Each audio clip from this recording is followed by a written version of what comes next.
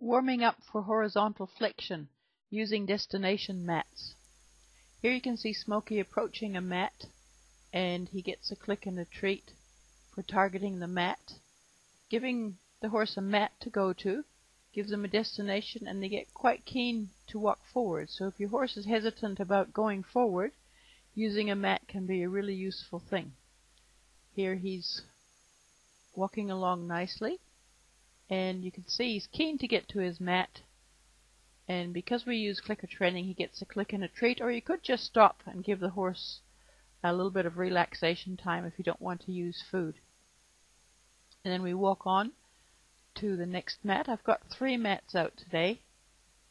So we can walk around them in a circular pattern or we can go from mat to mat like we're doing here can see he targets it with his feet and he gets his click and treat. I just want to show the finesse startup. Um, it's a walk on multi cue where you breathe in, you run your outside hand up the rope, you focus up and ahead, and you step off with the outside leg.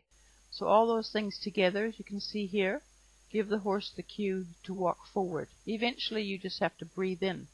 I'll just show it again here doing all those four things at the same time, and he walks off.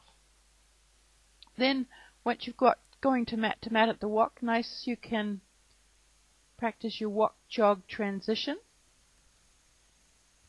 And because the horse knows he's going to come to a mat, he's going to stop there, so it's less likely that he's going to take off with you.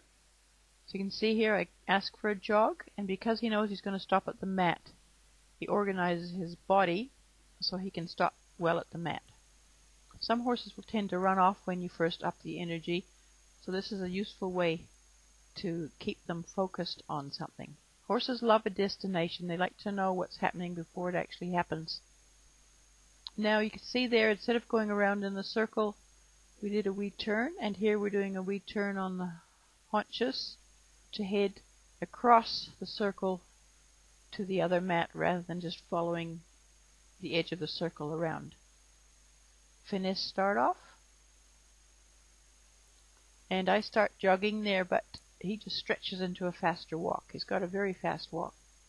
And halts himself at the mat. And here I ask him to come around with me.